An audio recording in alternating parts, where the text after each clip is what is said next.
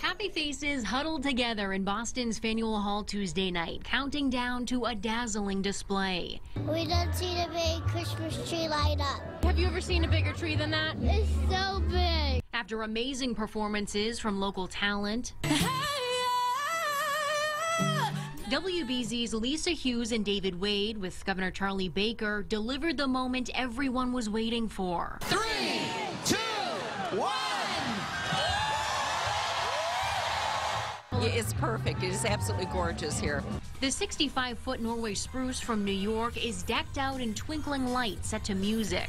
The first show featuring fresh snow on the branches.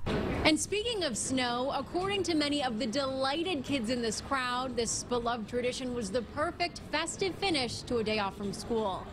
Fun playing around with snow too outside. So this is like the cherry on top of a snow day, isn't it?